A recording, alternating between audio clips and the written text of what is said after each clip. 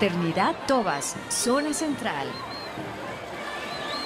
Los Tobas fueron una de las tribus que ni los collas, ni mucho menos los españoles, pudieron doblegarlas o conquistarlas, lo cual les permitió conservar sus expresiones culturales hasta nuestros días.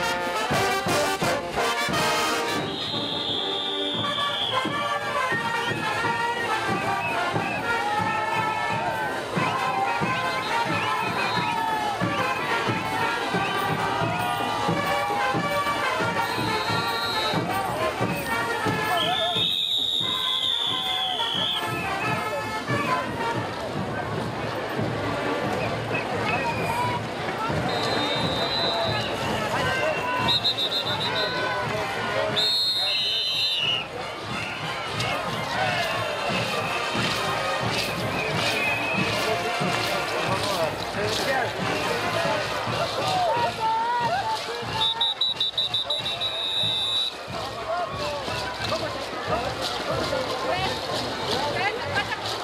you.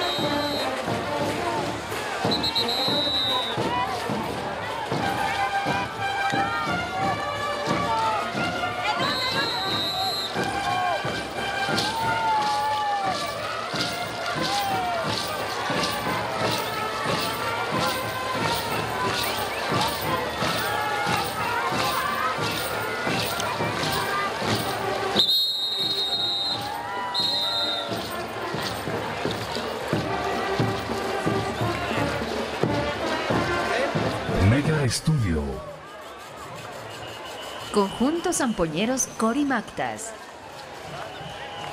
Esta danza se remonta a épocas pretéritas y también a pueblos antiguos.